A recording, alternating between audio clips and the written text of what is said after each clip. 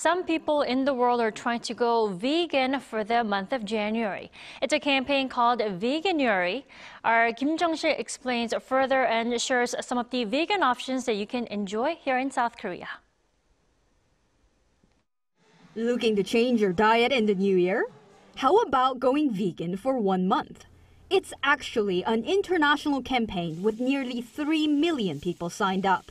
Dr. Toni Vernelli, head of communications at Veganuary, which organizes the campaign, says people are getting involved because they care about the environment.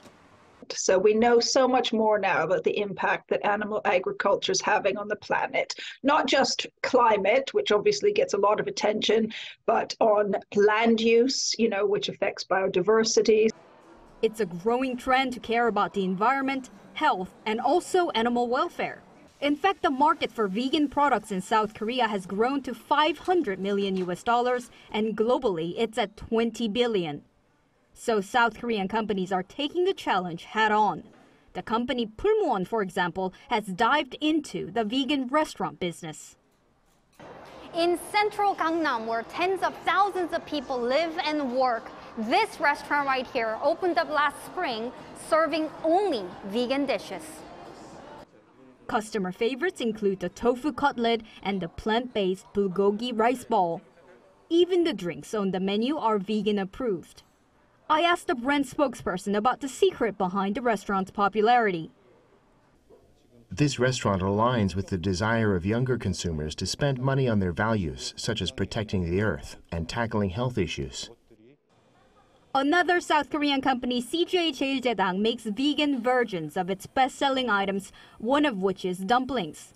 In the supermarket, vegan dumplings sell for about 4 US dollars a package. They're economical, so eating vegan is always an option. Dr. Vernelli says each person who tries going vegan contributes to a big difference to the environment. Since we started um, 10 years ago, we've had over 2 million people take part and we had scientists look at the impact that those 2 million people will have had. And together, it's a huge saving. So it's the um, carbon equivalent of over a million flights from London to Paris. So that's massive. So taken, you know, as a community of people doing this, it really does have an impact.